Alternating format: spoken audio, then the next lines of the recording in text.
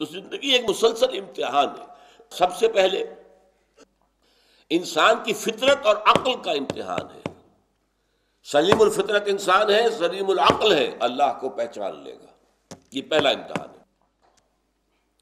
پھر اللہ کو پہچان کر سمستقام پھر اس پر استقامت، یہ عملی امتحان ہے۔ اللہ کو مانا ہے تو اس کا ہر حکم ماننا ہے۔ اللہ کو مانا ہے تو جس چیز سے اس نے روک دیا ہے، روک رک جانا ہے۔ اللہ کو مانا ہے تو جو اس نے حکم دیا، پورا کرنا ہے، چاہے گردن کٹ جائے۔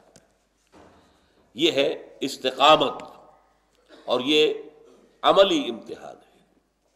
تو یہاں فرمایا ولقت فتن الزیز امن قبل ہم نے تو ہمیشہ آزمایا، جو بھی آیا۔ حضرت ابراہیم کے بارے میں آیا کہ نہیں آیا؟ عزب تلا ابراہیم رب بے کلماتن فاطمہ اور ذرا یاد کرو جبکہ امتحان لیا اور آزمائش کی ابراہیم کی اس کے رب نے، بڑی بڑی باتوں میں کلماتن یہ تنقیر تفہیم کے لیے۔ فاطمہ ہننا وہ ان تمام امتحانوں میں کامیاب ہوا۔ پہلا امتحان عقل اور فطرت کا، انہوں نے پہچان لیا۔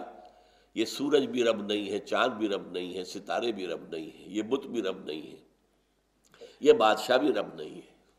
انی وجہ تو وجہ علی السماوات والارض حنیفہ وما انا من المشرکین میں نے سب سے اپنا تعلق توڑ کر اپنا چہرہ اپنے رب کی طرف کر لیا ہے، جس نے آسمان و زمین بنائے ہیں۔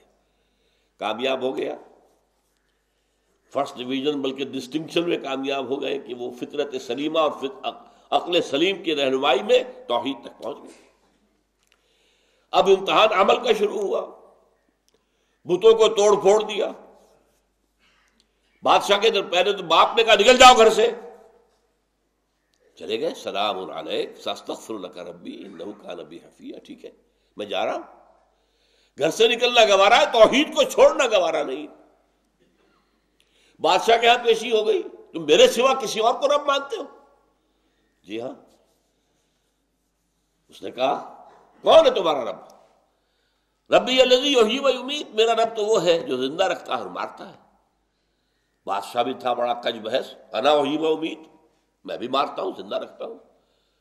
کہیں جیل میں دو قیدی تھے، ان کو بلایا۔ دربار میں ایک کی گردن اڑا دی، ایک کو کہا، جاؤ تم بری ہو چھٹی دیکھو، میں نے ایک کو زندہ رکھا، ایک کو مار دیا۔ مجھے اختیار ہے کہ نہیں؟ اب حضرت ابراہیم نے آنکھوں میں آنکھیں ڈال کر وہ جو جس کو کہا ہے، افضل الجہاد کلمت حق سلطان جاہر ایسے بادشاہ، خوخار بادشاہ کے سامنے کھڑے ہو کر حق کی بات کہنا بہت بڑا جہاد ہے۔ ان ربی یات شمس من المشرق فات بہا من المغرب۔ اچھا ٹھیک ہے، میرا رب سورج کو مشرق سے نکالتا ہے، تو مغرب سے نکال کر دکھا۔ فبہت الذی کفر۔ تو جو کافر تھا، مبہوت ہو گیا۔ وہ بغلے جھانکنے لگا کہ اب کیا کرے؟ کوئی جواب نہیں۔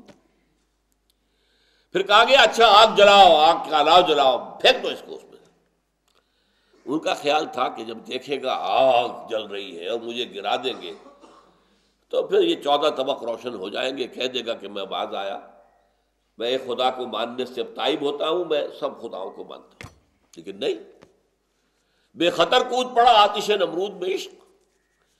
عقل ہے محو تماشا لبے بام بھائی اللہ نے اس آگ کو ان کے لیے گلو گلزار بنا دیا۔